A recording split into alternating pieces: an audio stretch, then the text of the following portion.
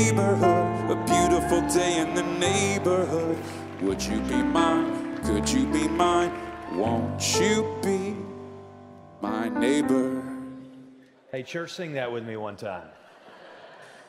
It's a beautiful day in the neighborhood, a beautiful day in the neighborhood. Would you be mine? Could you be mine? Won't you be my neighbor?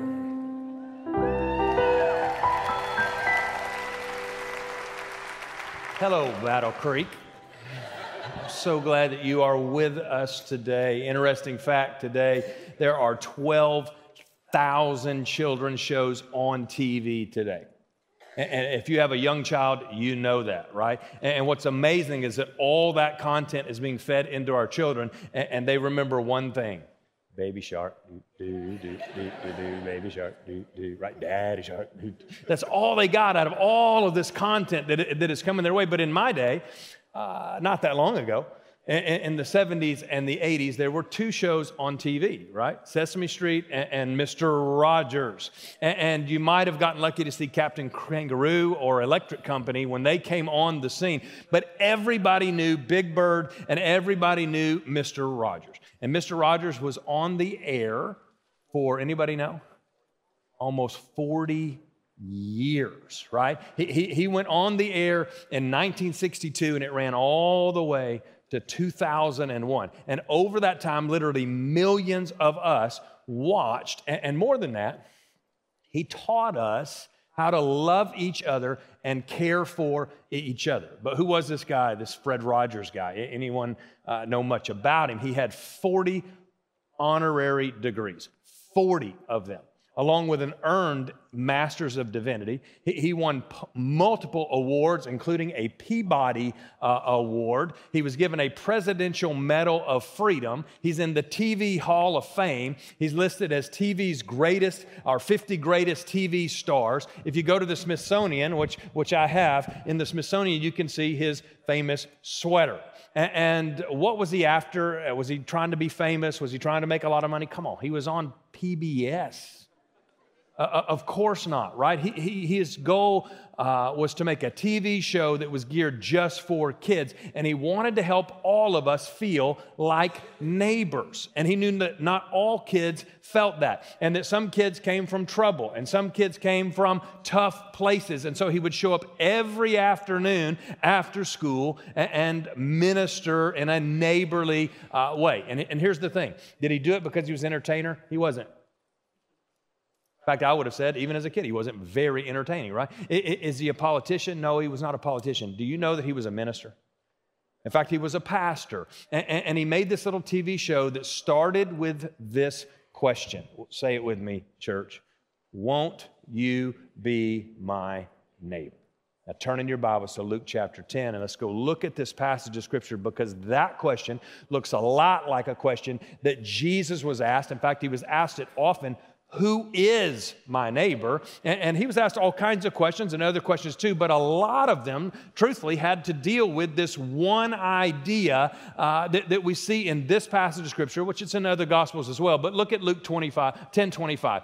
One day, an expert in the religious law stood up to test Jesus. You see where this is going, right? You don't want to be on that end of this equation, that you're standing up to test Jesus by asking him this question Teacher, what should I do to inherit eternal life? And Jesus replied, What does the law of Moses say? How do you read it?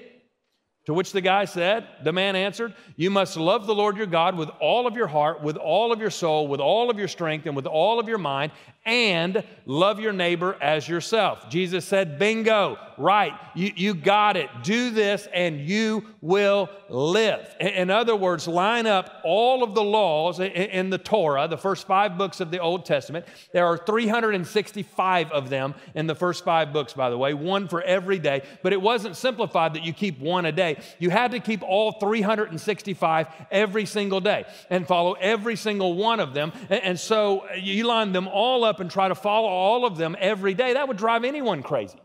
But, but what Jesus was trying to say in his teaching, when he narrowed it down, is that you can fulfill every one of them, all 365 of them, with two simple steps love God and love your neighbor. To, to which, you know, we, we ask, well, how do we love God? What gift could I possibly give to God that He doesn't already have? And the answer is obvious nothing, right? You can't. There's nothing you can give God. So, so God made it simple. He said, hey, if you want to love me, here's how you do it love your neighbor. And it's very easy to understand, it is very difficult to do. In fact, the religious expert wants to avoid the whole thing altogether. Let's continue the, the dialogue and watch what happens. The man wanted to justify his actions, so he asked Jesus, And who is my neighbor? Now, when it comes to uh, loving our neighbors or not loving our neighbors, we, we actually consciously or not, want to justify it. And one of the reasons we want to justify it is because we can, in our own hearts, draw a line between these two ideas. And over here we say, sure, I would love God. Why wouldn't I love God? He's awesome, right? And He's full of mercy and He's full of goodness and He's full of, uh, you know, uh, grace. Well, I, of course I will love God, but love my neighbor. have you met my neighbors? Surely that's optional, right? I, will just go over here, God, and get away from those that I can't love. Maybe that's the history of neighborhoods to begin with. Is that I wanted to get with people who are like me that I can love and get away from those that I can't love. And, I'll just love you, God. But, but here's the thing you can't divide. And you can't divorce loving God from loving your neighbor because it is absolutely impossible to love God without loving your neighbor. And, and those of us who grew up in church, look, you're, you're already checking out. You're like, I've heard this. I've heard this millions of times. Here's the question Jesus wants to ask us today How are you doing with that? How are you doing with that? Truthfully, if I were just confessing to you today, I would say I'm not doing all the good. In fact, I moved to three and a half acres so they would be further away. And I'm far more. Sometimes people want to debate scripture and, and, talk about this scripture or that scripture. I'm like, hey, man, I am far more interested in the scripture that I do understand and don't do than I am the part that I'm wrestling with trying to figure out. I'm still working on love my neighbor as myself. And we've been asking uh, the, the obvious, right? This is what happens when you are told by God you can't separate these two. You, you come with the most obvious question at that point well, who's my neighbor? And who do I have to love according to Jesus? Another way to ask that, that, you know, helps us understand it is who would Jesus be neighbors with? Who would Jesus be neighbors with? And you have to think, I mean, you've, give, you've been given enough Bible around here to think, well, he, everyone, I guess, right? Right? In John 1, the Word was God and the Word was with God. And then, you know, come down to verse 14, and the Word became flesh or dwelt among us. Another translation says, and he moved into the neighborhood. He put on his earth suit. And, and, and, by the way, Jesus, when he tells this story on the backside of this dialogue, the great Samar- or the Good Samaritan uh, uh, passage of Scripture, you know that story. When he tells the Good Samaritan story, Jesus is making a very, very, very racially charged application in that day. I wish I had time to teach you that every rabbi had different uh, ways of answering what is the greatest of the commandments. People ask Jesus, What's the greatest commandment? That was a very common question for rabbis in that day. Very, very common. Because they wanted to know whose yoke was, you know, how your yoke was different from his yoke was different from his yoke. And, and, some of them said, you know, it's love God and the Sabbath. And some of them said it's love God and, you know, X, Y, and Z. And, and there was one rabbi named Hillel that said it's love God and love your neighbor. And, and so they came to Rabbi Jesus and said, Hey, what, what do you have to say? And he tells this story of the Good Samaritan. And the Samaritan is the key in the story. Now, if you don't know what a Samaritan is, it was a different race than the Jewish people. And not just a different race, they were viewed as half breeds by the Jewish people. In fact, the Jewish people theologically believed that Samaritans lost and forfeited the very image of God on them when they intermarried. And so, what Jesus was doing here was not some little, you know, preschool story. He, he was going to the heart of you have to love people like you, and you have to love people who are not like you. And, and maybe, I don't know, maybe the closest person on earth in our lifetime at, at doing this neighboring stuff is Mr. Rogers, right? I, have already confessed to you, I don't think I'm doing a great job of it. And, and so, this week and next week, we're, we're going to look at this idea of neighboring well. And Mr. Rogers was an expert at this won't you be my neighbor stuff. But we kind of think it's an option. But when we see everyone as our neighbor, it begins to make sense and we begin to understand the command of Jesus, and then we can begin to love them in the same way that Jesus uh, loves them. And we begin to realize it's impossible to love God and not love your neighbor. And, and I'll just, you know, those of you who say, I've heard this a lot of times before, uh, I, I, would just say to you, if you have, have led all of your neighbors in your neighborhood to Jesus Christ, take the next two weeks off. Okay, go, go to the beach, do whatever you got to do. If you've led all, everybody on your hall, in your dormitory, at your university of Jesus, then take a break, okay? Take a break from church. If you're talking to all your coworkers regularly about Jesus and, and they know where you stand with Christ and you love all people the same, th- then you're good. But if you're like your pastor, that your knowledge is greater than your action related to loving your neighbor, then you need to stay tuned uh, dur- during these two weeks. And here, here's a question I want you to ponder for a second. How many people it's October. We're 10 months into this year. How many people since January 1st have you led to Jesus? Personally. How many people have you led to Jesus Christ this year? And let me flip it for your comfort. How many people I've led to Jesus this year? Personally. I, have preached to hundreds of thousands of people, actually, this year. And I've seen thousands of boys and girls and women and men uh, raise their hand, come forward, and, and accept Christ. But personally, how many people have I shared Jesus with? A whole lot less than that. And how many in my neighborhood? Z- zero. And so, what I want to say to you is, I need this as much as you need this, maybe more uh, than, anyone else. And here's the truth my knowledge outweighs my obedience and my action on this neighboring stuff. And if it's true for me, I'm sure it's true for you. Certainly, I'm more spiritual than you, right?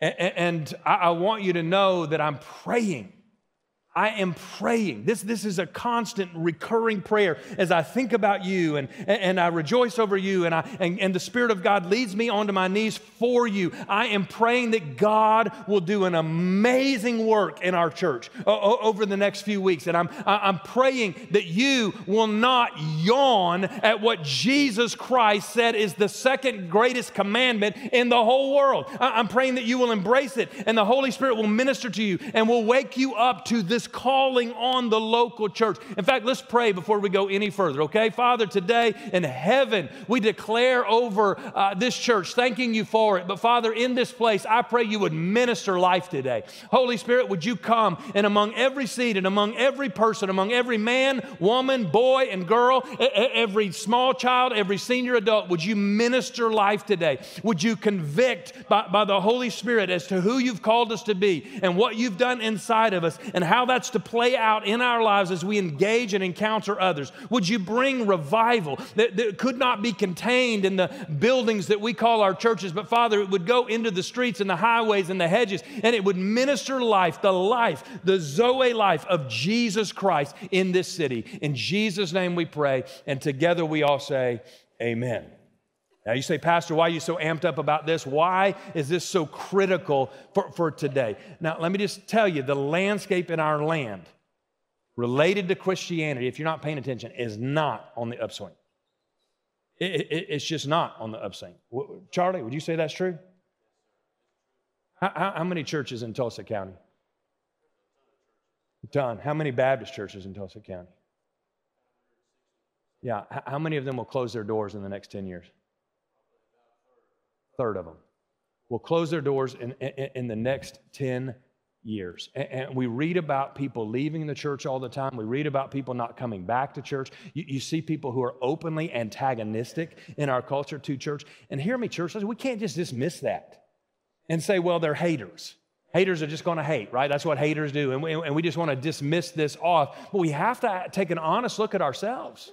We have to. And we have to ask are we being the church that Jesus wants us to be? Because it is impossible to love God and not love your neighbor. So let me give you three reasons today why this is so critical uh, for our church in this day and age. Number one, what Jesus said we should be known for may not be what we are known for. And that is a problem. Do you remember what Jesus said would distinguish us from everybody else around us? It's John 13, in case you don't know. Verse 35 By this, all people will know that you are my children. You are my, you are my followers. You are my disciples. If you love one another, that, according to Jesus, is what separates us from the rest of the world and, and that we love everybody always. That's the message of the church. We love everybody always. And you can wear a jersey to tell everyone who your favorite athlete is if you want to. You can wear a hat to tell everybody you're a Sooner, by the way. Praise the Lord right? They brought me an orange one and I burned it just and, put on my red one. You, you, could, you could wear a jersey to tell everybody you're a cowboy or, or a Sooner, or God forbid you're a Longhorn, and, and we'll, we'll be a missionary to you. And, and, and so, what, what I want to say, you could share a clip online from your favorite TV show. You can put a bumper sticker on your car to talk about your favorite breed of dog or advertise the fact that your children is in the honor roll, right? That's just a weird thing to put on a bumper sticker, but for everybody, you know, God bless you, right? It just seems slightly arrogant, actually, to put that on there. My kids in the honor roll was yours, right? You know, we feel enough pressure already, okay? So just, just leave that bumper sticker at home. Those of you who are runners and freaky weird, you put 13.1 or 26.2, like you are any good at math, uh, uh, on your bumper sticker to say that you accomplished something, which, by the way, I don't know if you saw it yesterday. Some African guy, uh, an hour 59 finished 26.2 miles, an hour 59. That is a sub five minute mile for 26 miles. I can't fathom how a human body could do that and, and run that fast. But you guys put those, you know, accomplishment stickers on, on your 26 by 2. I finished a, a marathon. I've gone way more than that in my car than 26.2 miles. and it just seems quite arrogant, actually. I don't have a sticker on my car that says PhD. Right? I mean, it just seems silly that we would put that. And I did. I told that joke once before, and one of you put a 0.0 sticker on my car at the gym, and thank you for that. And, and, and so, listen, when Jesus was handing out badges that would separate us from everybody else, it wasn't about what we could display on a mug or slap on a bumper sticker. It was about how we love each other, the rest of our world, and, our neighbors. and that's the one defining characteristic that is supposed to separate us from the rest of the world. And here's a question I want you to think about How would your neighbor answer that question about you? We had a man after the first service come to one of our staff members and repent, said, I'm going home to repent to my neighbor today. He hit my mailbox with his car, and I lost my witness with my neighbor. And I'm going to go repent. But because of, of, what God did in my heart today, how would your neighbor answer that question about you? And if we took a poll in your neighborhood, how would you do? And it's not politics, it's not church, it's not a bumper sticker, it's love, according to Jesus. And just in case you misunderstand, I want you to hear me. I'm not talking uh, uh, uh, about all kinds of weird stuff. I'm talking about recapturing what Jesus said. I'm not talking about redefining the whole of Christianity. We're not going to go hire a PR firm to, to help us send tweet after tweet out or get some video to go viral about the church. We don't need to repair the image of the church. We need to recapture what made her so great in the first place. The love of God. And, and, and you, you got to hear me. Listen, true love realizes that it is completely impossible to love God and not love your neighbor. And, and, now balance that with the next reason this is so incredibly important in, in our culture today. Here's number two Christians today are forced to take theological stances in our culture, hard ones that the culture won't agree with, right? And, and, nothing makes me more nervous as a pastor in this day and age when the press calls and says, Hey, Pastor, what do you think about fill in the blank?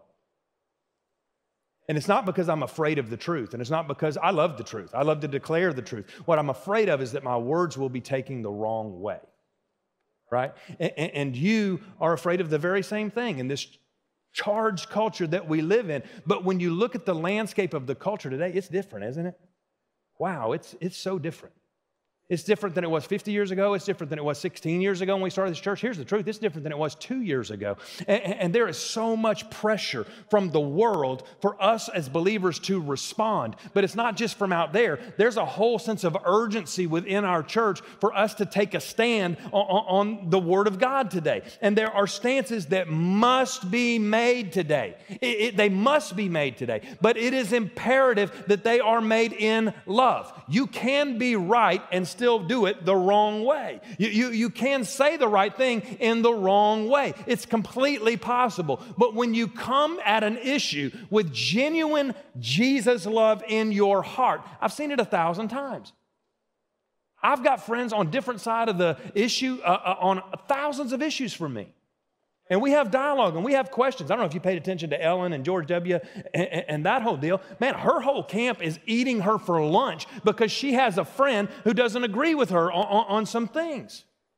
You got to ask, where's the love in all of this? And, and by, I can say something that somebody else disagrees with a thousand percent. And if I've communicated in love and loved them well, that they will say, I disagree, but I respect your opinion. Why? Because love is so much louder than words.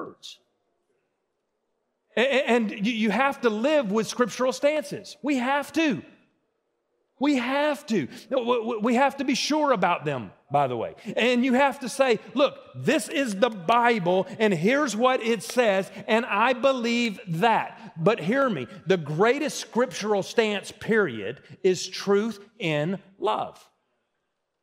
Truth in love. And Christians have always been viewed as weird and narrow minded and, and, judgmental. The problem is now we're known as hateful and bigoted. And it's not just the mean, freaky, picketing church people, right? And, and, and, you know, they've been to several events I've done, and, and, and they're just mean people. It's not just them, it's people in normal church today are viewed that way. And, and Jesus once said, My words will act like a sword that will separate you. Jesus was not prescribing that we be divisive. He was saying that when you share my stances and when you share my word, people will react to it. He just knew that. He just knew it would happen. And we can't control their reactions. We can only control our attitudes. And we can take a stance and be a jerk, or we can take a stance and do it in love. 1 Corinthians 13 says that if I don't love, right, I'm like a, a, noisy gong or a clanging cymbal. With love, it's louder than all of our words. Without love, our, our words are just like banging on a, a, a cymbal. And no one will listen, and our words will become annoying to all those around us. But with love, they will, eh, they will be able to see God's heart on the matter. And Jesus, by the way, he did it amazingly. You see it over and over and over when you read the Gospels and the stories about Jesus on earth. He, he could braid his words with both truth and love beautifully. He, he had a way of speaking to the heart and an issue and taking a stand without making that person feel judged or condemned. Look, look the woman caught in adultery is a perfect example, right? In, in John chapter 8, he, he took a stand. Make no mistake about it. He took a stand. He said to her, Go and sin no more. But he did it in love. There's no one left to condemn you, and neither do I. What about Zacchaeus? That's another one, the tax collector of the day, right? Was he a good man? No, he wasn't a good man. You couldn't paint him from any angle as a good or an all right guy. What, what he needed needed, in, in my view, is to be punched in the face. In Jesus' name, of course. But what did Jesus do with him? Jesus said, Let's hang out. You, you, you, and me. Let's hang out. And he sat down and had a meal with him an experience of love and an experience of intimacy so clearly that Zacchaeus said, You know what? I'm going to pay back everyone that I have ever cheated. Hear me, church. He did not change his mind because somebody yelled at him. He did not change his mind because somebody argued or debated with him. He changed his mind because somebody loved him. And Jesus never separated his theology from love. He never sacrificed the truth for being liked. He never sacrificed love for being right. He was the perfect combination of the two, and we can be too because he lives in us and he is empowering us. John 1:14 again, the word became flesh and dwelt among us, and he was full of grace and he was full of truth. I, read a, a, book this last summer. You should read this book about a, a lady named uh, uh, Rosaria Butterfield. You should read her book. It's fascinating and it's very well written. Rosaria Butterfield was a professor and a chief spokesman for the LGBT community. And in her own book, in her own words, she tells the story of being invited over to dinner by a pastor and, his family. And, and when she sat and ate dinner, she was flabbergasted with how they loved one another and for how they loved her. She was blown away because he and his family and his children and his wife understood and demonstrated that it is impossible to love God and not love your neighbor. By the way, in her own words, she would say the LGBT community that she so uh, profusely stood up for and took up for and spoke for have been very hateful to her since she left not loving at all, right? So it's critical, number one, but because love is what we should be known for. Number two is because we are forced to take tough stands on tough issues in this culture. The, the third reason this is so important is when our knowledge of loving our neighbor exceeds our obedience, we will miss out on the greatest experiences available to us in this lifetime. In Luke chapter 15, Jesus tells a parable. In fact, he tells a couple of them. And, he talks about a lost sheep and then a lost coin, and then he moves on to a, a, a lost son. And in each of those stories that Jesus tells, there is this phrase that repeats itself all three times. The phrase is rejoicing in heaven rejoicing, not, not in a stadium, rejoicing in, in, heaven. And I used to think that that meant the angels were kind of figuring it out and throwing a party, and, and God was kind of sitting there, you know, maybe, maybe he would smile and, you know, approve with a nod to the angels. But when you really look at that text and understand that text, if you read it, God is the one doing the rejoicing. He is the one lifting the roof and doing the touchdown dance and doing all of that. And if anybody's watching, it's the angels. And God in heaven is rejoicing. And one of the godliest things we can do is rejoice when other people get saved. And there's a joy from leading one person to Jesus Christ that's unlike any other joy in our lives. Truthfully, I don't understand it. I do not understand it. But when I stand and give an invitation in a stadium and thousands of people come and give their life to Jesus, there's crazy, crazy joy. I feel like this is what I was made for. This is what God put me on planet Earth for. But I, if I'm honest with you, when I sit across coffee with somebody and I lead one person to Jesus Christ all alone, one from death to life, there's more joy in that than there is in that that. And I can't explain that to you. The math doesn't work, but there is something about it when God uses you to help one person cross a line that, that is like a drug for the child of God. And, and, and as your pastor, I just I want you to hear me say, I am praying, praying, praying. As we just began a new school year, a new church year, here's one of my prayers, and I just want to tell it to you up front. I'm praying that every single one of you will have the chance and have the opportunity to lead one person to Jesus this year. I'm praying it for you. That you will have that encounter, you will have that opportunity to, to invest in somebody's life, to earn the right to talk them about Jesus, and, and you will do it in a successful way, all of you, one time this year. And, and, and speaking of that, let me just, I need to make a, an announcement today. One of the things that we have loved here at Battle Creek for, for a long time is hosting the big TC Toy Show uh, every Christmas. And over the span of 15 years, we did it for 15 years, over that span, we have seen thousands of people give their lives to Jesus Christ. And more importantly, as a pastor, I, I, thousands have had an on ramp to be the hands and feet uh, uh, of Jesus Christ. But I want you to know something very important today, and it's important that you listen to me over the next few minutes. We have met as a leadership team, and we have decided, both strategically and uh, uh, uh crucially, to take a break from TC Toys uh, this coming December. There's a lot of reasons for it okay? And two primary ones. number one is we don't know how to vet the needs of the people who come to TC Toys. We're not good at it when buses are being chartered to drive people from Kansas City to Tulsa to, to, to receive toys, you realize there's some sort of a dilemma going on on what it is we were trying to do in, in the first place, okay? And so, in other words, we do a poor job of making sure that we're helping those who really need the help. But hear me, church, that's not on them, that, that's on us. But, but the second primary reason that we're going to take a break from it is that TC Toys has been incredible at helping people know God.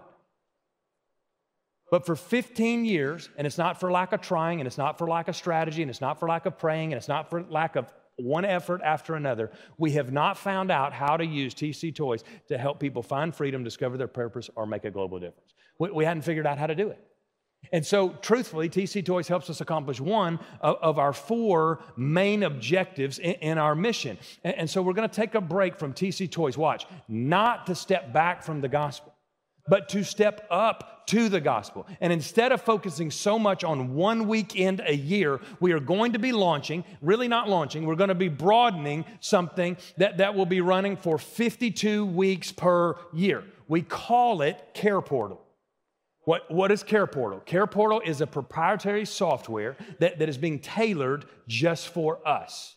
And it will help us to take uh, a whole nother level uh, uh of neighboring into our community. And what it does is it allows outside organizations, primarily today, DHS, who are good at vetting needs, to vet the needs for us. And then when a need comes is placed by a DHS worker into our care portal system, it will be paired up both geographically and strategically with one of our Battle Creek community groups at the campus closest to the need. Now we've been beta testing this for a few years now. And we haven't talked about it, but 60 of our community groups for several years have been involved in what we call Care Portal, and it's been incredible. And they are meeting needs all over this city every single week, thousands of them actually, for, for the last two years. And now we're ready to bring it into all of our community groups. And I want you to hear me say today that I, my goal is 100% of our community groups would participate in Care Portal, okay? And I, I could tell you all kinds of stories. A few weeks ago, a young man, his, his wife left. She was the source of abuse in, in their home. He had three children, and, and he worked two jobs to take care of these three children. One of the children got sick. And so he spent two weeks off from work taking this kid to one hospital, to one doctor, to one imaging after another for two weeks. He was doing exactly what a loving dad would do, but he's an hourly worker and he was not getting paid during these two weeks. And, and, so the need came through DHS. They said, hey, if this guy can't pay his rent, we're going to have to remove the children from the home.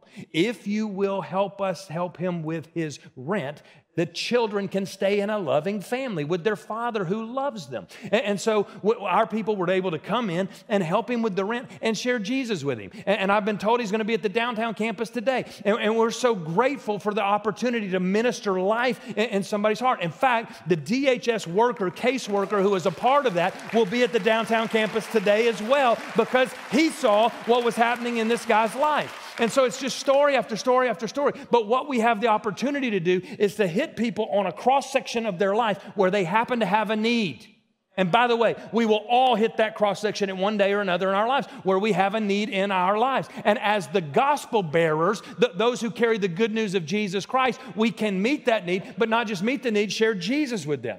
Last week, uh, a, a young lady who aged out of the DHS system. She aged out of the system as an 18 year old mother of two small children. And she found an apartment, she found a job, she's doing her best to make this a go. But DHS put in the need in Care Portal and said, We're gonna have to remove the baby from this home if she doesn't have a car seat for the baby. She can't drive with the baby in a, in a laundry basket in the back of the car. We have to get her a car seat.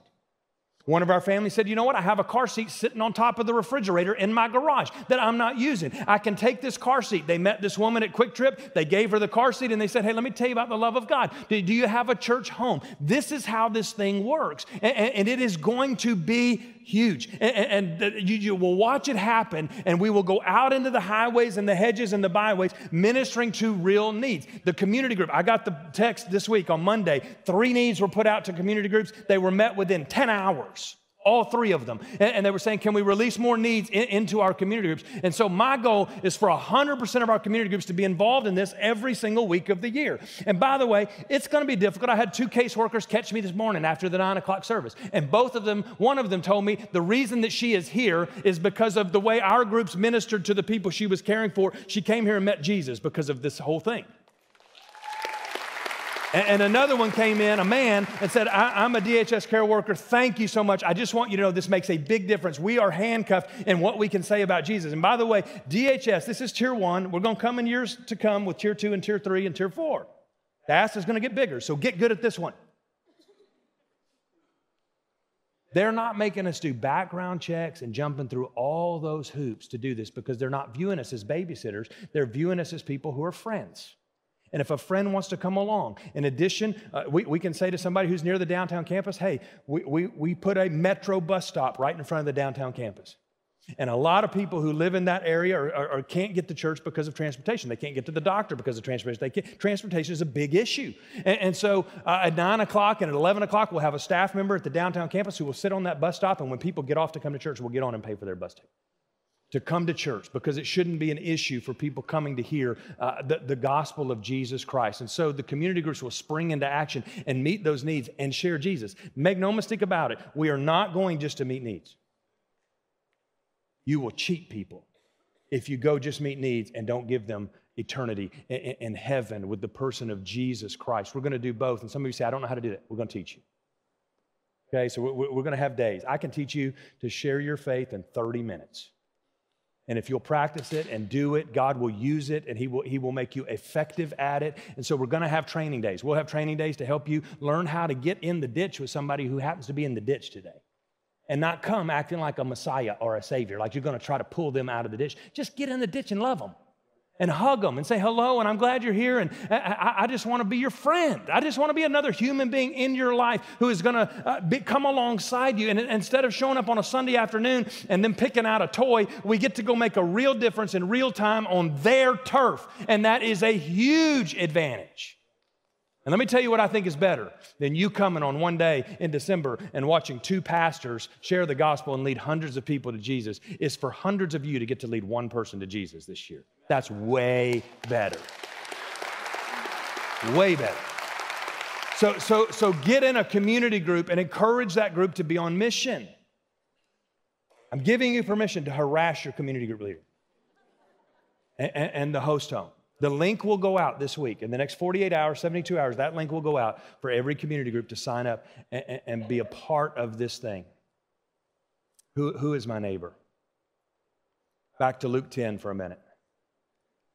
The religious ex- expert asked Jesus this question. And we soon learn, according to this text, it's one of those conversations that was planned out in advance. He asked the question to set up something he wanted to say to begin with, right? In fact, Luke makes this very clear. He was justifying himself. And obviously, he was feeling really good throughout most of the story until we got to verse 28. And then Jesus throws a curveball into this scenario. And what the religious expert had in mind for the answer it was not the story of the Good Samaritan. I can just tell you. That was not what he had in mind. And it's not what we have in mind either, right? It's not what we would expect. Well, we know the parable of the Good Samaritan, but it is a little bit confusing. But it would appear to all of us when we read that story the neighbor was the man who was beaten and left for dead. That, that's the neighbor, right? Who are we going to neighbor? But at the end of the story, Jesus makes it clear that the Samaritan who helped the man proved to be the neighbor.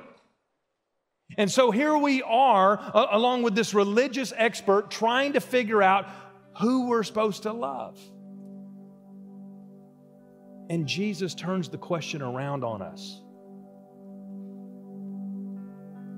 And he's saying, Church, stop asking, Who is my neighbor? There are deeper questions to ponder. And when we're done trying to establish, is this my neighbor?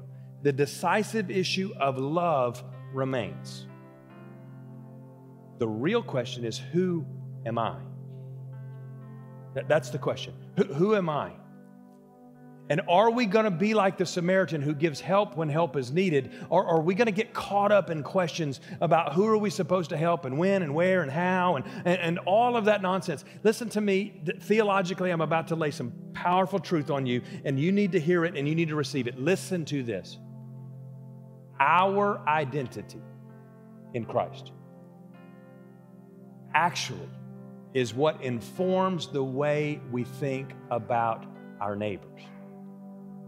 Who we are matters first. Last month in, in Jesus Hates Religion, we said in Christ we are given right standing before God. The Bible word is justification, right? Just as if I, have never sinned. And we are propelled in love for God to others by the new power of the Spirit that resides within us. That's sanctification. And that affects the way that we see those around us. Not because they have become, they have become something different, but because we ha- have become something different. And God's justifying work for us and His transforming work in us are a commission to the good works and the path that he prepared beforehand for us, according to Ephesians chapter 2 and verse 10, that we should walk in these works he prepared in advance for us. And on this path are real people with real lives, with real stories. And now, when we encounter them, they are a divine call to the children of God. They are an opportunity and they are a mandate for us to be who we are in Christ. And for years, I've been asking our staff team for the last probably three years give me another Laura Dester. And you say, what, what is that? Some of you weren't around when we tackled that issue. DHS built a beautiful multi million, multi million, multi million facility in Tulsa, Oklahoma, over on the north side to shelter kids who were coming into the system about the time we were launching Adopted and, and, this foster care ministry and all the initiatives that we were tackling at that time, front and heavy. And God put it in my heart, and I said it to the church one day before I consulted with anybody Church, we're going to shut it down. So, what do you mean? We're going to put Christian homes all over this city so that the need to put them in a shelter, even for one night, becomes non existent. And we did it. And it sits over there boarded up today.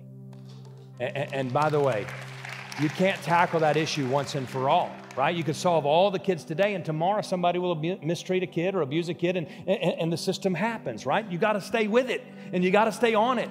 And it began with me and Chris Campbell in his office several years ago with the uh, DHS, the head of DHS in the state of Oklahoma. And we said, hey, we, I don't want any of those kids in that shelter on Thanksgiving weekend. And she said, that's a really good goal. I don't know how we'd accomplish it. Maybe in the next 14 months we could pull that off by next Thanksgiving. And I said, nope, this Thanksgiving, two months. Figure it out. And she did. And that Thanksgiving, we emptied the whole shelter out for the weekend. And then we said, let's do Christmas. And the next Christmas, we emptied the whole shelter out for Christmas. And then we started teaching and asking people to be foster care parents and, and, and taking kids into their home and being respite care. And, and the issue, a big dent has been put in it. We got a lot of ground to go cover. And, and, say, what do you mean, give me another Laura Dester? Here's what I've been saying. We, we, started sending community groups to Laura Dester on Sunday nights to barbecue with the kids and, and kick soccer balls around, and we overtook Laura Dester for a number of years. For a number of years, we would have three adults for every one child on a Sunday night at Laura Dester, and we overwhelmed the whole thing, and it was like, can you send less people?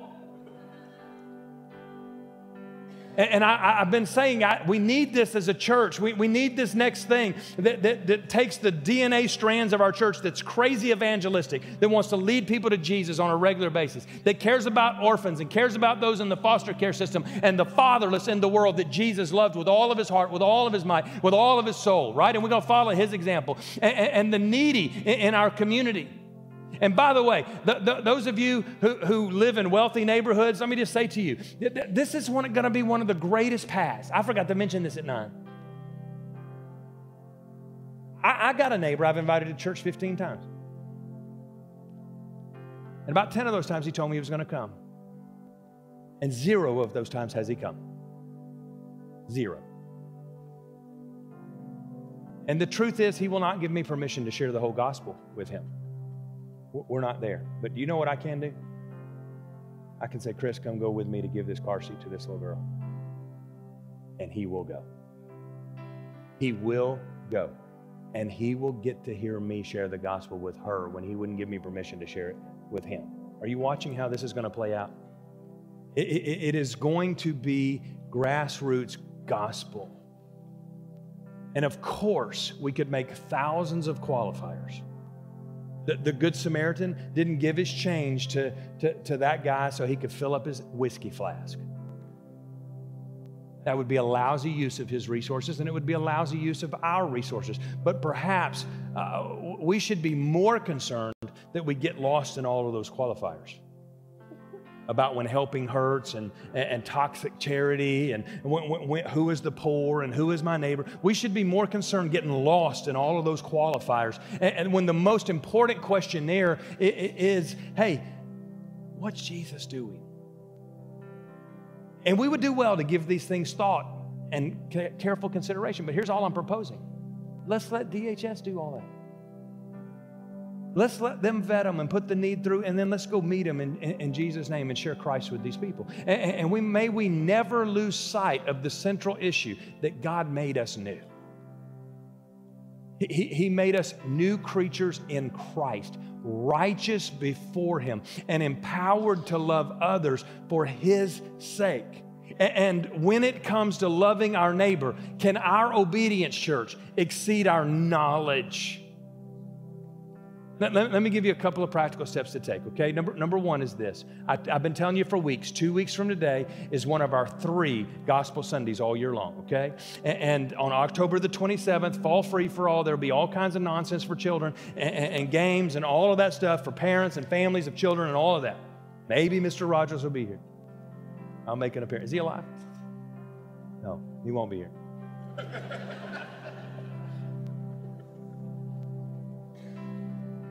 but Clayton King will be. And, and, there's no way for me to oversell this to you. I, I just want to say to you, he is gifted by God as an evangelist. He has the gift of the evangelist. And when he shares the gospel, people respond. It doesn't make any sense. I'm smarter than him, but he just when he does this, people come. And, and we cannot miss that opportunity. So, so, step number one is this I need you to invest in your neighbors, to invest in your kids' ball teams, to invest in the people that work with you over the next two weeks. Invest to the degree that you have somebody with you on October the 27th. You understand the mandate? It's not for you to go out there and, you know, leave a banana on somebody's porch. It's for you to invest to the degree that you have somebody with you on October the 27th. That's the mandate, okay? And, we'll watch and see what God will do on that day. He's, he's crazy gifted. But here's the second one, and, and, and even bigger get in a community group.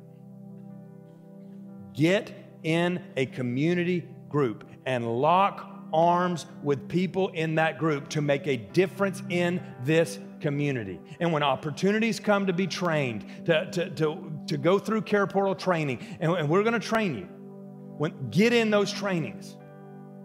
And let's take the opportunity to use this to help people know God, find freedom, discover a purpose, and make a global difference. Would you pray with me across all of our campuses this morning?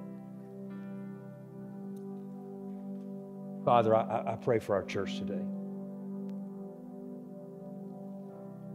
And I pray you administer life in every part of it.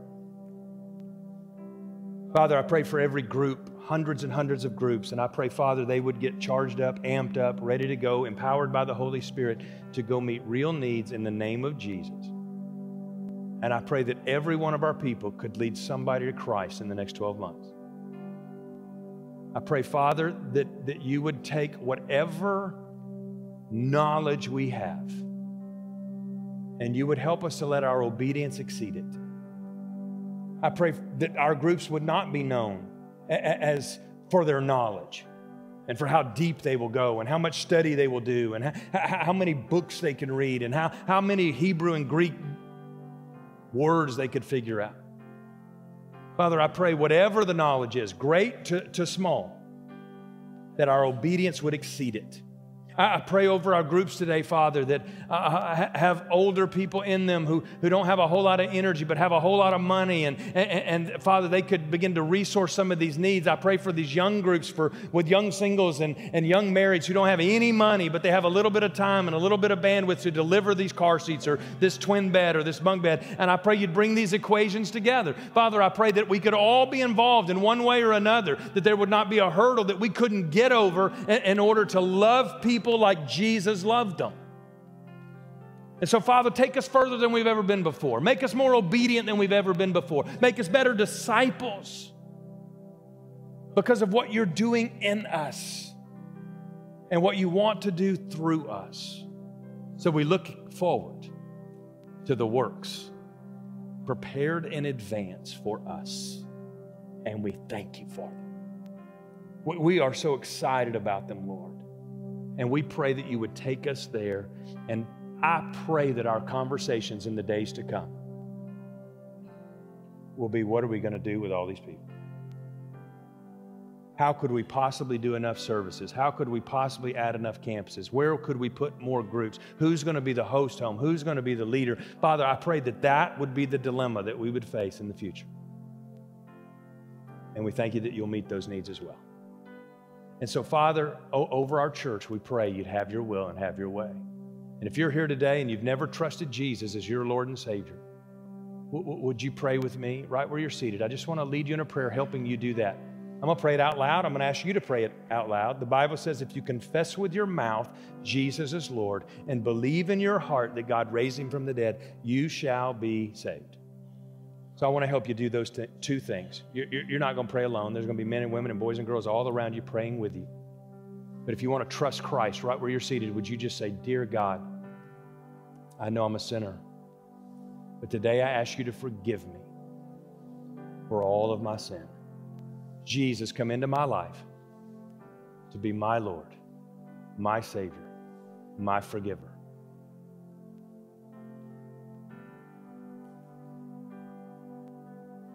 Jesus' name we pray.